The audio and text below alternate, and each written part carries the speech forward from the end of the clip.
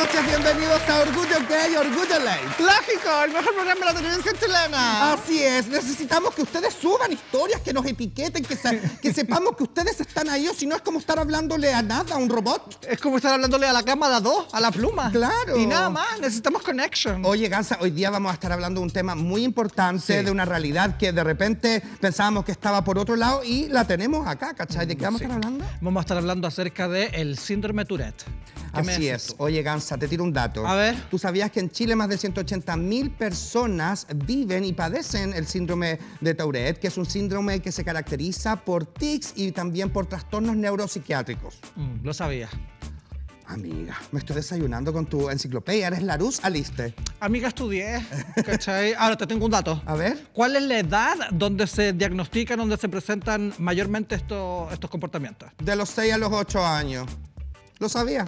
Amiga. Amiga. ¿Por qué lo sabía? Porque sí, te tiro un dato. A ver.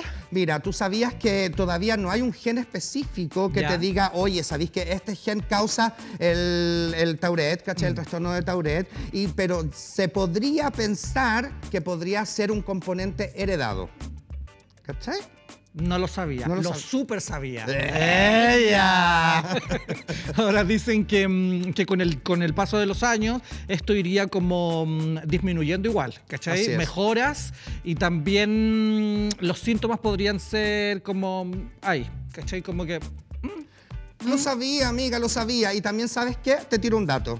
Esto no tiene que ver tampoco con que el síndrome eh, sea degenerativo. Claro, O sea, no hay todo lo como... contrario. Claro, no hay así como, oye, expectativa de vida. No, no es degenerativo, Mm. sino que de repente hay algunos casos que podrían ser severos y que podrían llegar a ser discapacitantes. lo sabía. ¿En serio? Sí. Amiga. Larus Aliste. bueno, para eso y para más tenemos tremendo invitado, así que no se separen de las pantallas de Vía X porque ya comienza... Orgullo, ley. Gay.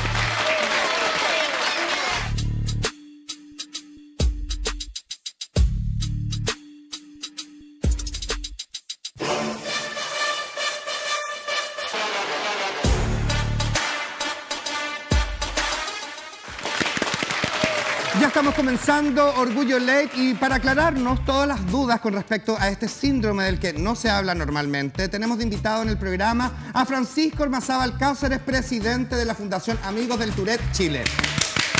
Bienvenido, Muchas gracias por Francisco. Bienvenido. Muchas gracias. Gracias por venir.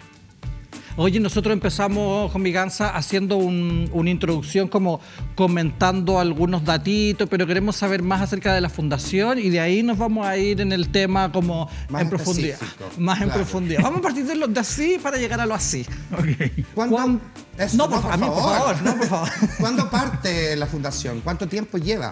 La fundación parte del 2015 con la agrupación de papás y mamás de niños con Tourette que se agruparon para tratar de concientizar lo que estaban viviendo ellas, Mm. lo que están viviendo ellos como familia y, y formaron esta agrupación en el 2015 para empezar a evangelizar de cierta forma, para empezar a educar a la gente de lo que tenían sus hijos y lo que enfrentaban sus hijos en una sociedad tan dura hace cinco años atrás. Mm, Perfecto. ¿Y qué es lo que es el síndrome de Tourette?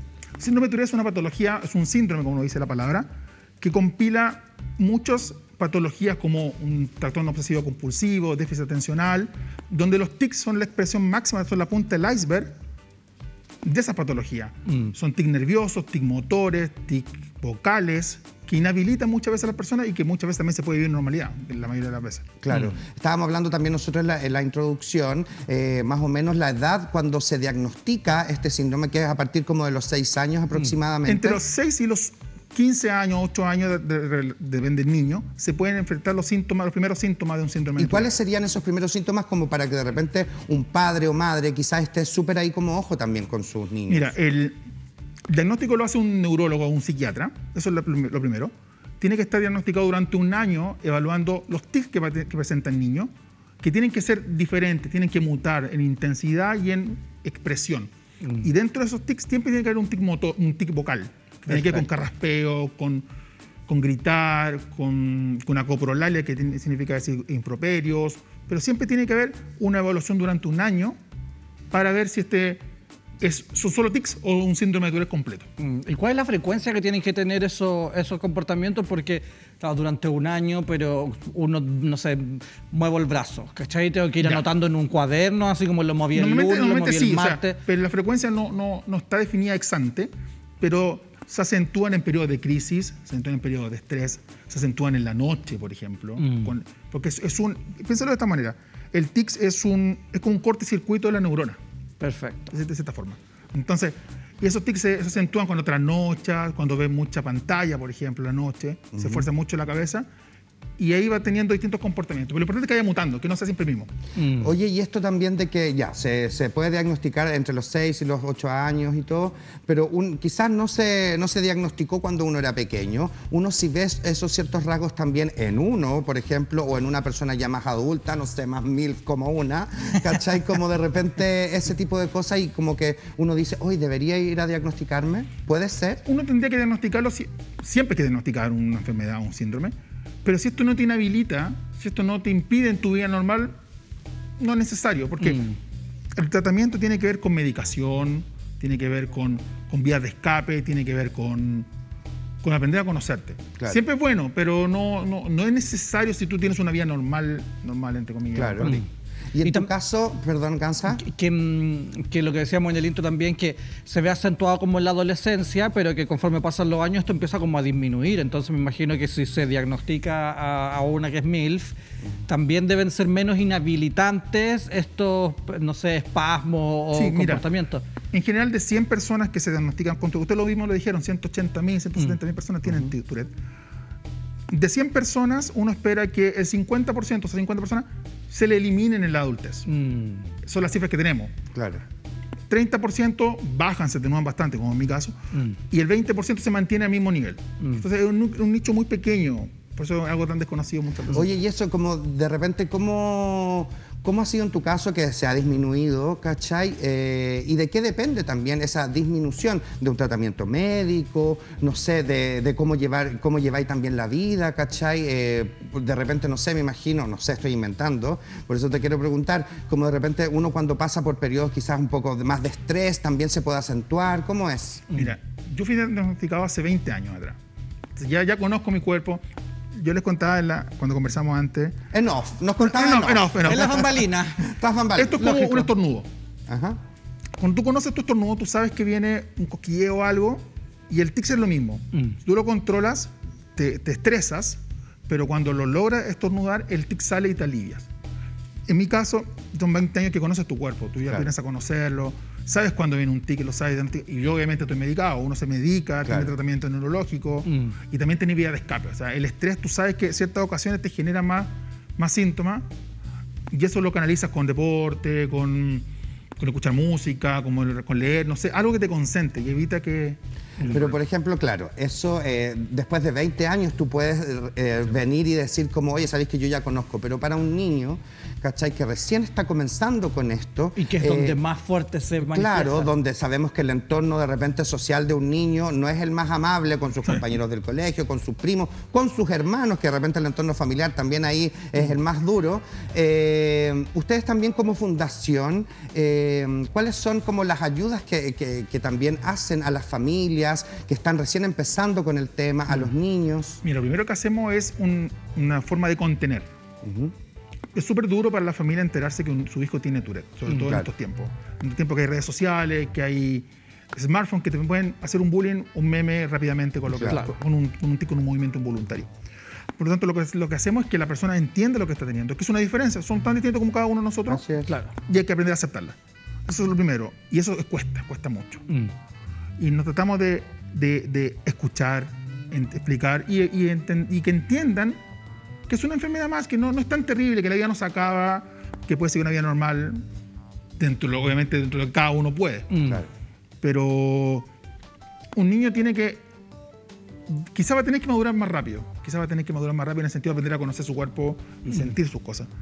Pero se puede, y la familia tiene que entender y tratarlo como un niño más, un niño normal, no, no, no hace diferencia en eso. Pobrecito, No. Ahora, todo esto dentro de, de un contexto en que mm, está diagnosticado y que se conoce cuáles son, eso es fundamental. cuán- cuáles son como la- los caminos que hay que seguir y cuáles son los plazos y todo. Em, hablaste hace un rato como de, de que mientras no te inhabiliten, ¿cachai? Está todo bien. ¿Existen niveles dentro de- del Tourette como, no sé, A, B, C, no tengo Es que idea? hay niveles. Hay como un, Tourette básico, leve, mediano, avanzado. Porque por el caso clásico que uno conoce es Taldo, que es un síndrome de Tourette muy avanzado, no tratado. Mm. Así es. Síndrome, eh, casos como él, a ese nivel no tra- tratados, casi no existen. Mm. Siempre la medicación te ayuda bastante. Igual ese caso es del año... Uno. 80, 80, y algo, Claro. tiene año cero, Del sí. año uno, claro, con los avances, me imagino también, y con, eh, con el conocimiento del síndrome, uno puede ir informándose también y, y tratándolo, no en ese, en ese, en el año uno. Claro, no- no en el año uno. Con tal. Sí, pero, pero hay niveles, hay niveles. Y eso también te, te, te hace qué tipo de medicamento tú tomas. Mm. Porque si yo miro los medicamentos, son críticos, son para lo peor del mundo. Mm. Pero las dosis que tú vas tomando son para Tourette, para eliminar estos, estos movimientos involuntarios. Y como te dije, si no te inhabilita, pero siempre es bueno, siempre es bueno enterarte que tienes. Mm. Más información siempre es mejor. Claro, oye, y también hablábamos en off eh, con Francisco, porque nosotros nos hicimos amigos. Sí. de Tamari, súper amigos, nos vamos a salir a tomar un copete cuando se pueda salir a tomar un copete. Oye, Con eh, todos los protocolos. Claro, nos hablaba un poquito también de que, cómo era vivir esto también en el día a día y nos contaba ahí la experiencia de Ponte tú, eh, tuya eh, en el cine. ¿Cachai? Que de repente son cosas como que uno dice, oye, mira, como que- y de repente tú como, como estar ahí en el cine, te, te- Lo eh, a escuchar lo y, visto. y es como, ay, qué suitado el gallo. A mí me pasaba con mi ex, que yo de repente íbamos al teatro o al cine y como que yo sentía que respiraba muy fuerte. Ya. ¿Cachai? Y yo decía, ay, respiráis tan fuerte, cállate. ¿Cachai? Como, ¿Cómo era para Mira, ti esa eh, situación? Una experiencia.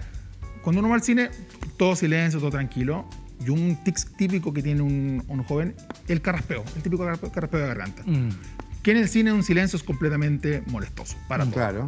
Entonces, lo, muchas veces me tocó que me decían, "Shh, por favor, está viendo la película. Una, dos, tres veces. Mm. Yo estoy hablando aquí 10 años atrás, donde no había personalidad para explicar, o Claro. quizás no quería explicar. Claro. Claro. Terminaba parando y y me perdía la película. Claro, no te iba a pararme de la película. Disculpe, Pero, ¿puedes permiso, pararme la película, no, por favor? O antes. Claro. ¿Cachai? Como, bueno, yo sé que va a empezar la película. Claro, quiero quisiera comentar, informarles. Voy a estar en esta filita de acá. Claro. Por ejemplo, próximamente van a dar la PSU los niños. Claro. Muchos niños deben tener Tourette. Mm. Tú- imagínate estar en una prueba concentrada jugando tu futuro y estás súper incómodo para ti y incómodo para tus compañeros que están en la sala. Claro. Un consejo, la persona cuando va a pedir el Tourette, va a ver a la PSU, PSU no, ¿cómo se llama PSU? P- ¿PSU? No, pues No tengo idea. ¿La La, PSU? la ahora? transitoria, creo que es transitoria. Así ahora se llama de otra manera. Ah, no tengo. Yo me quedé en la, yo me quedé en la PA. yo yo no, también, yo no también. tuve acceso. Ya. No tuve acceso. Tienen todo el derecho de poder decir, tengo un síndrome de Tourette, por favor necesito una sala aparte. Perfecto. donde ponen un una persona que te vigila y así tú no te, no te sientes estresado porque te vas a estresar aún más Mm. Por molestar al resto y el resto no se siente estresado por ti por tu ruido. Claro. Es un consejo, un consejo para ti gente a lo que viene. en tu- Oye, y en, y en relación a eso también, como de repente el, cosas súper cotidianas como conocer una pareja, ¿cachai? No sé, como, como empezar eh, una relación laboral en un lugar. Eh, una persona que, que- que padece el síndrome de Tourette, eh, ¿debería decirlo o debería más o menos como quedarse piola, quedarse callado, El ¿cachai? Como, del. Es una, es una carta de presentación, ¿cachai? No sé, si estáis conociendo a alguien, a una, a una niña o a un niño, ¿cachai? Decir, oye, ¿sabéis que Mira, eh, me encantáis y todo, tengo, eh, pero tengo, quiero decirte algo, tengo un síndrome, ¿cachai? Que sé esto, esto, otro. ¿Debería ser o no debería ser? Chuta, difícil pregunta. ¿eh? Es Yo que ya- nosotros somos muy buenas para hacer No, preguntas. nosotras no. somos, ¿sabes cómo somos? Incisivas. Yo ya estoy felizmente casado, tengo dos hijas, claro, pero hay vida Impedimento anterior. no fue. ¿Ah? Impedimento no fue. Impedimento no fue. claro. ¿Pero tuviste antes, que salir del closet de eso? Como con tu... al momento lo conversé. Fue un tema, hay que conversarlo. Si tú me decís al principio, al final, al medio, no lo sé. Cada, cada- cada niño, cada persona es un caso distinto. Claro. Intenté todas las técnicas. Partiendo como carta de presentación, omitiéndolo, y alguna resulta. Claro. Pero es una, una cosa de cada uno, una Sí. inseguridad de cada uno. Pero que tenés que contarlo así porque si no te van a... O te lo van a preguntar. Directamente Claro. van a decir, ¿por qué haces ese ruido? ¿Por qué te Claro. mueves tanto? ¿Eh? Evangelizas. Ah, mira, sí, sabéis que yo tengo un Exacto. síndrome Y tomarlo normal. que- Claro. No, normal, no, no, si no es un tema. De todo lo que estamos hablando con Francisco, como que se me vienen un montón de preguntas y mm, obvio que te las voy a hacer, todas las que alcance, Obvio, porque pero es antes... porque soy. Soy la Raquel Correa de los colas. Tenemos también preguntas en nuestras redes sociales, así que las vamos a revisar para ver si podemos darle respuesta. A ver la primera pregunta. A ver qué dice, qué dice. ¿Qué dice? ¿Qué dice? Estamos Se está cargando. Ahí llegó la primera pregunta y dice: Para una persona con Tourette, ¿es necesario terapia o solo medicación, Francisco? Ah. No, terapia.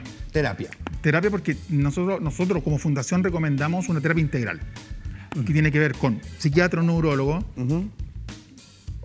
kinesiólogo, terapeuta ocupacional, dentro de lo que se puede, obviamente. Claro. Imagínate que tiene un, tras- un, un tics que te, un movimiento muscular que te contractura todo el cuerpo. Claro, tenéis que ahí hacer Sí. tu Yo he perdido de dientes por lo mismo, por el bruxismo.